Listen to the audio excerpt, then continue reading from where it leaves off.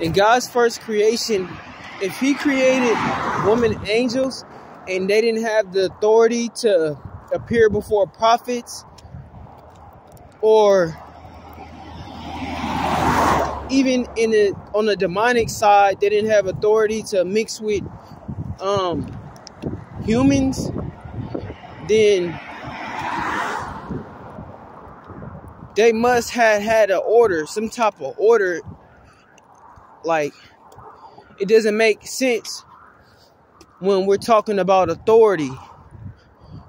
And so it always brings me to the world now. Why is the woman worship as God, as Eve wanted to be worship, wanted to be like God? Why is the world? Why why do a lot of religions they honor and worship the woman as God when even if there were if there were angels that existed that are women, they didn't even have this type of authority to be worshipped. So what is really going on?